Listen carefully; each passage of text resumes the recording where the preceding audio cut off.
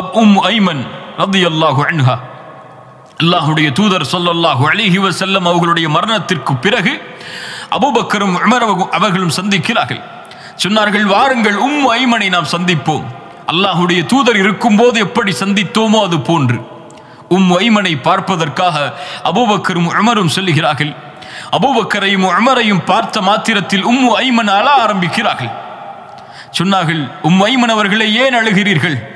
அல்லாஹுடைய தூதர் நாம் நினைப்பதை விட அல்லாஹ்விடத்திலே மேன்மையான இடத்தில் இருக்கும்போது உம் ஐமன் சொன்னார்கள் நான் அறிவேன். ஆம் அல்லாஹுடைய தூதர் ஸல்லல்லாஹு அலைஹி வஸல்லம் நாம் நினைப்பதை விட மேன்மையான இடத்தில் தான் அல்லாஹ்விடத்திலே இருக்கிறார்கள். ஆனால் நான் அழுவதன் காரணம் அல்லாஹ்வின் புறத்திலிருந்து இறங்குகின்ற வகை நின்று விட்டதே என்பதற்காகத்தான். அல்லாஹு அக்பர். குர்ஆனுடைய பிரிவு அவர்களுடைய வாழ்க்கையில் கவலையை ஏற்படுத்துகிறது. குரானுடைய பிரிவு அவர்களுடைய கண்களிலிருந்து கண்ணீரை வர வைக்கிறது. ஆனால் ஒரு நாளைக்கு எத்துணை முறை நாம் குரானை ஓதுகிறோம். ஒரு நாளைக்கு எத்துணை முறை குரானை திறந்து நாம் படிக்கிறோம். அதனுடைய வசனங்களை ஆராய்கிறோம் சிந்திக்கிறோம்.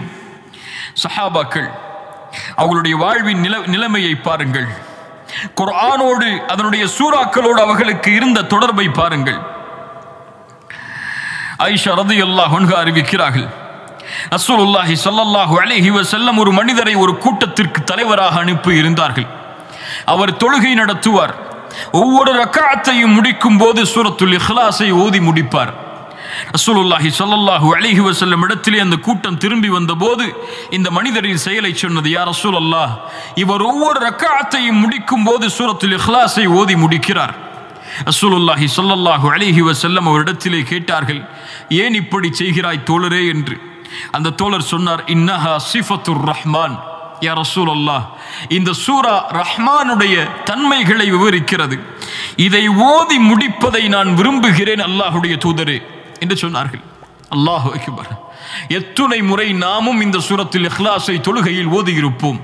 அல்லாஹ்வின் அன்பால் என் உள்ளம் நிரம்பி இருக்கிறதா உங்களுடைய உள்ளம் நிரம்பி இருக்கிறதா? கொஞ்சம் சிந்தித்து பாருங்கள்.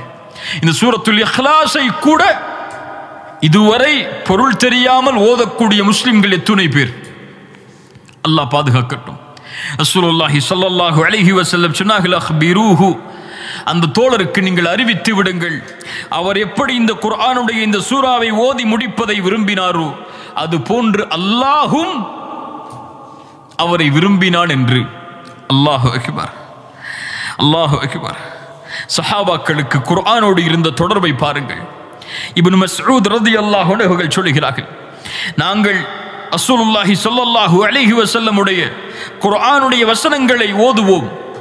பத்து ஆயத்தை ஓதுவோம். அதை தாண்ட மாட்டோம். அதை அறிந்து எங்களுடைய வாழ்க்கையில் செயல்படுத்தாத வரை.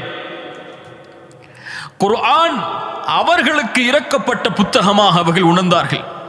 இன்று குர்ஆன் முஸ்லிம்களுக்கு இறக்கப்பட்ட புத்தகம். ஒரு சமூகத்திற்கு இறக்கப்பட்ட புத்தகம் என்றுதான் நாம் அறிந்திருக்கிறோம்.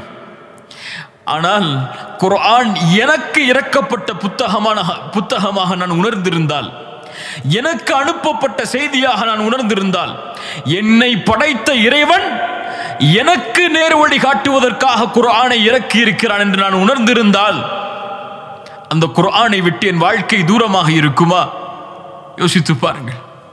ஒருவர் உங்களுக்கு ஒரு செய்தி அனுப்புகிறார். அந்த செய்தியை பார்க்காமல் நீங்கள் கடந்து செல்வீர்களா? உங்களுடைய மொபைல் போனில் ஆனால் படைத்த இறைவன் எமக்கு கொடுத்த செய்தியை இதுவரை என்னவென்றே அறியாத முஸ்லிம்கள் எத்துணை பேர்.